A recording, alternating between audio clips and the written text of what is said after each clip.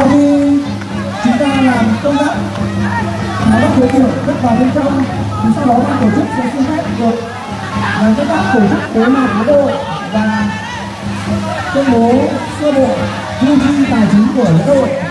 Sau đó kính mời toàn thể các cụ, các ông, các bà và toàn thể nhân dân cùng các tộc hương ở lại thục lộc.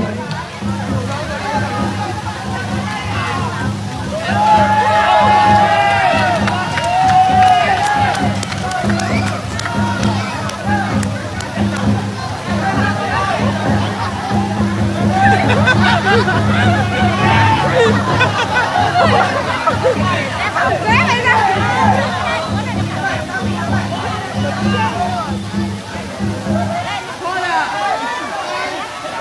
chúc mừng.